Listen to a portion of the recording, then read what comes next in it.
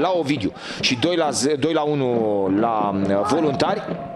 Iată aici ce probleme sunt pentru viitorul George Merloi și este gol Academica!